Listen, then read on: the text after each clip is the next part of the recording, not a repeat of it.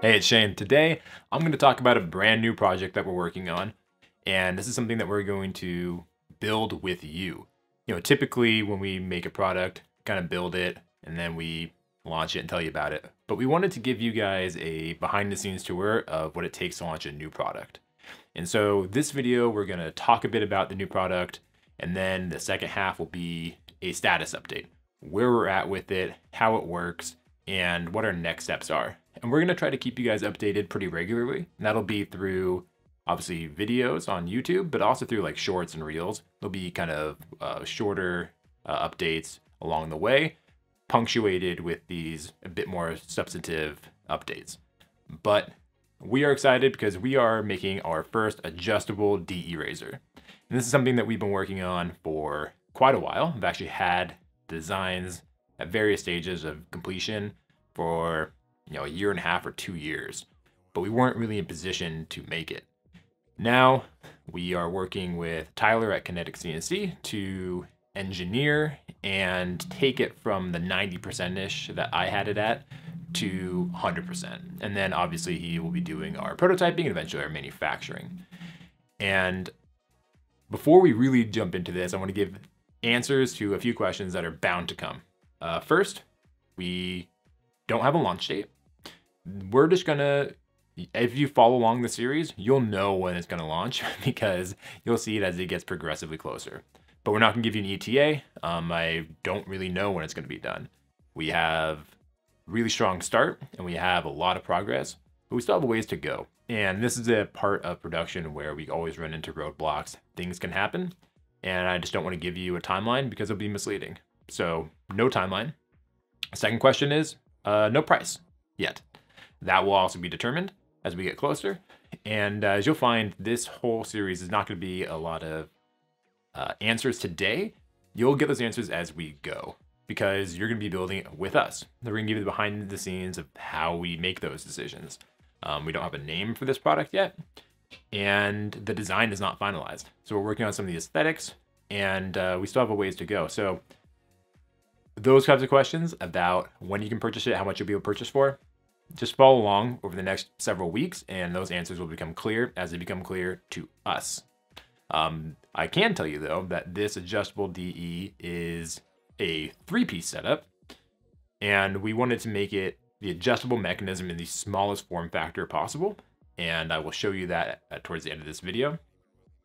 This is going to be made in stainless steel and titanium. There is a um, you know, that's all subject to change. We're at that stage where things can really be different from where we launch now and where they go. Um, but we're excited for you guys to follow along with this video and with this video series. So if you like this and you want to see where this goes, and uh, you also want your voice heard, because we're going to be listening to your feedback, seeing your comments. And if you like that kind of thing, make sure you subscribe to this so you can keep updated as we go. And I'm looking forward to the next, you know, probably several weeks, maybe a few months. Who knows how long it'll take. And uh, there's always that possibility that the project fails, and we'll show you that too. Um, we'll show you, you know, if it doesn't work out, we'll tell you why. And we're going to show you the the good, the bad, and we'll just keep you updated as we make these uh, progressions over time. So with that being said, I'm excited to have you guys uh, part of this journey, and uh, let's show you the new adjustable DE. All right, so here is our alpha prototype. This is V1, if you will, of our metal prototypes at least. So first thing you'll notice, I mean, we'll just hit off the bat, is we don't have the handle yet. Um, that design is being fleshed out right now. We're working really on the mechanism at this stage. This is just a regular three-piece razor. This is the base plate. It's all contained. We can put the top cap down and you'll see that this thing does not come apart. It's all one piece. The knob and base plate are all solid one thing. I'll show you how that works in a second. The top cap, just a regular top cap. The goal for this project was to create a three-piece adjustable where the adjustment is all in the base plate. We can make it as compact as possible, as simple as possible, and you can use different handles if you want. Um, most adjustable razors, the handle is an integral part of the adjustment mechanism. Usually that's where all the spring is located, the adjustment mechanism itself, and uh, we invented a way to get around that. Right now, the uh, razor is set at its lowest setting. So this would be setting you know, zero. We're not sure exactly how many settings there will be. You'll notice on the knob that there is no uh, indicator yet. And then we simply crank it up. And now it's at its highest setting. One issue with DE, or sorry, with adjustable razors typically is that even though they're adjustable, they usually fall on either the mild or aggressive side of the spectrum across the entire shave setting. So often people who want a really mild razor um, will find an adjustable and say, hey, I even on setting one, I really can't use it. And sometimes people who want a more efficient shave will use something like a Gillette Slim vintage razor. And uh, they'll find that, you know, even on the highest setting, which I think for that razor is a nine, it's just not enough. And we're trying to solve that here. The other goal is to make a razor that is simple. So this has relatively few parts compared to the average adjustable razor. Internally, and I'll show you some uh, CAD models probably around here in the video. Internally, there is some cleverness going on. So we have in here, there is this really cool spring. It's called a wave spring, and it's super compact much more compact than the, the traditional spring that you think of when you think of a spring. And that spring is what is allowing the adjustment to work. And the real magic is that this knob and what we call the top plate, this place, this piece here where the blade will sit, is these are actually bound by a, um, a retaining device inside the top plate. And so the knob pops into that basically, and uh, allows the knob to rotate, but not pull away from the top plate. So you have rotational motion, but the linear motion is, is restricted. So then the base plate here in the center, the bottom plate as we call it, is bound between those and it is threaded to correspond to the threads in the knob so that when you turn the knob, the threads drive that bottom plate up or down. And uh, it works quite well. The knurling here is just kind of ugly and pointless, and we're going to make that something cooler. That's just a placeholder so we can grip the thing and make sure it works. Um, the idea is that this little arrow will be your indicator. And so we, on the knob, will have uh, adjustment markings, you know, level one, level two, etc. On the reverse, uh, there will be uh, Blackland um, script there, or perhaps the name of the product, which is TBD. Now, I actually shaved with this thing uh, yesterday and actually also today. And uh, I have some, you know, some feedback that we're going to work on. Right now, actually, let's leave that off. Right now, one of the issues we have is a little bit of wobble. You can see this here.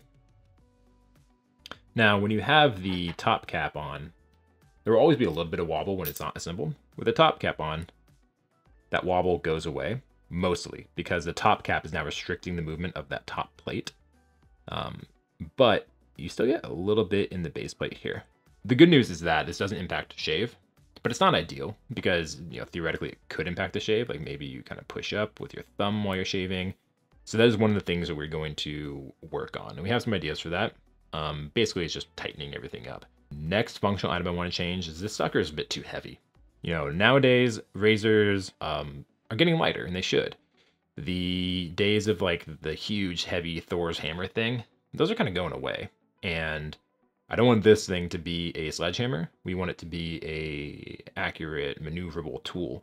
Mostly the top cap isn't gonna change too much. We might make it cooler. It's a little simple right now, and uh, there'll be some details that might change on it, but overall the top cap's pretty good. This is where the bulk of the material lies for this part, and so we're going to just hack out a lot of this. We're also gonna make this thing a little bit narrower than it currently is. It's currently a little wider than it needs to be. The handle will be appropriately weighted to balance the head. So we're trying to make the head um, not, you know, ultra lightweight. That'll be the titanium version. We're trying to make this just really similar to a, a regular DE, like something like the Blackbird is kind of our target weight. I am really proud of this mechanism. No one's ever done anything quite like this. This is a Blackland innovation and something that I'm really proud of and something that I think is uh, just really, really freaking cool. So let's talk challenges. You know, we have a long way to go in this product. We have all of the naming, marketing, marketing, um, financial stuff to go, but we also have production headwinds too. So we have to figure out some of the uh, engineering fixes I talked about to make the top cap a bit more stable, or the top plate on the base plate a bit more stable rather.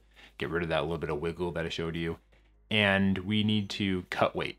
This thing has to get slim, it's gotta get agile. We have to figure out how to do that. The next thing we have to do is the handle. And the handle is a bit of a challenge from a production standpoint because we're actually still waiting on getting the proper machine for it. So this needs a, um, basically what's called like a mill turn, um, but it's a combination of a lathe and a CNC milling tool. So you can spin parts that are cylindrical and then actually drop down and, and CNC machine them like you would think of the way we make our heads. Then we need that. We're working on acquiring that, and uh, that might be our limiting factor for uh, for the speed of produ producing that. And also, we don't have the design set. So we're trying to make something really unique for the handle, and that's actually really tough. Handle design is a complete pain. It's really it's really challenging, and we try to do it at the same time. So we have some designs we're working on, and uh, working with the head design. The other uh, headwinds will just be regular stuff. Um, we don't know how to how much it'll cost, so we're trying to really figure that out. Um, we want this to be a reasonably priced item. You know, reasonable gets insane when you're talking about the kind of products we make.